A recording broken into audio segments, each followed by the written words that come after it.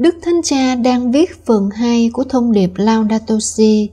Ông Matteo Bruni, giám đốc phòng báo chí tòa thánh, cho biết phần thứ hai của thông điệp Laudato Si mà Đức Thánh Cha Francisco đã đề cập hôm thứ Hai 21 tháng 8 2023 sẽ tập trung vào các cuộc khủng hoảng khí hậu gần đây.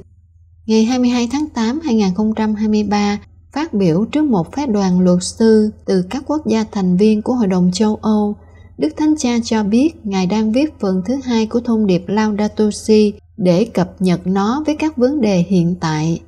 Đức Thánh Cha đã bày tỏ sự đánh giá cao và cảm ơn sự dấn thân của các luật sư trong việc phát triển một khuôn khổ pháp lý nhằm bảo vệ môi trường. Ngài nhắn nhủ họ, chúng ta đừng bao giờ quên rằng các thế hệ trẻ có quyền nhận được một thế giới tươi đẹp và đáng sống từ chúng ta và điều này ngụ ý rằng chúng ta có trách nhiệm nặng nề đối với công trình sáng tạo mà chúng ta đã nhận được từ bàn tay quảng đại của thiên chúa trong một tuyên bố sau đó, giám đốc phòng báo chí tòa thánh giải thích rằng phiên bản cập nhật mới của Laudato Si sẽ đặc biệt tập trung vào các hiện tượng thời tiết khắc nghiệt và thảm họa gần đây nhất ảnh hưởng đến người dân trên khắp năm châu lục. Laudato Si là thông điệp thứ hai của Đức Thánh Cha Francisco được công bố vào ngày 18 tháng 6 2015 và được ký vào ngày 24 tháng 5 trước đó. Lễ Chúa Thánh Thần hiện xuống với lời mời gọi chăm sóc ngôi nhà chung của chúng ta. Thông điệp Laudato Si lấy tựa đề từ phần mở đầu bài ca các tạo vật của Thánh Francisco Laudato Si me signore, ngợi khen Chúa,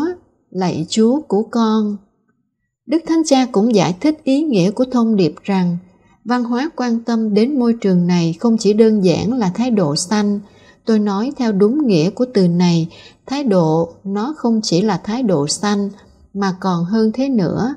Chăm sóc môi trường có nghĩa là có thái độ sinh thái nhân văn, nghĩa là chúng ta không thể nói rằng loài người ở đây và công trình sáng tạo, môi trường ở đó, sinh thái là tổng thể, đó là thái độ nhân văn